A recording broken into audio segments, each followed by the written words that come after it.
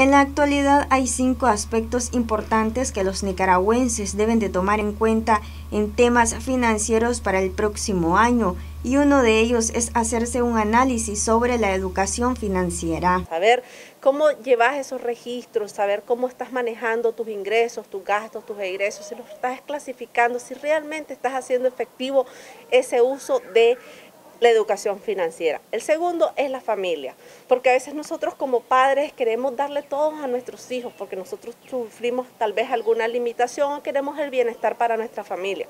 Sin embargo, yo les digo, por cinco minutos de satisfacción, por cinco minutos de alegría, pasan meses y años de dolor de cabeza. Hablemos con nuestros hijos, hablemos con nuestras parejas y realmente veamos los objetivos en común, porque si sabemos que afuera va a venir una tormenta, lo que nos tenemos que preparar es a nosotros mismos. El tercer punto que quiero tocar es la salud.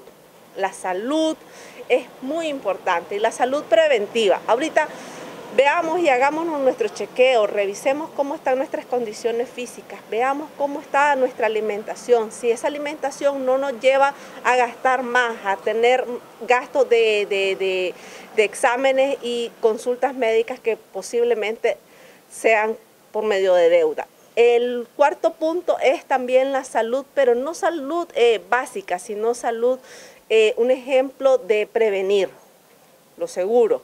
Tener un seguro de vida es importante, tener un seguro de accidente es importante. Uno anda en la calle y uno no sabe qué le puede pasar. Entonces es muy básico que nosotros también planifiquemos eso en el modo preparación. Gutiérrez dijo que otro de los puntos a tomar en cuenta es la tecnología. Porque nosotros decimos, ah, llevo el lápiz y papel.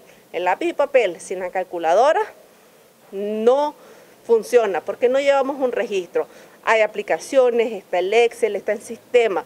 Veamos cada una de nuestras necesidades, veamos cada uno de nuestros comportamientos y dependiendo a lo que nosotros tengamos, demos un, paso firme hacia evolucionar.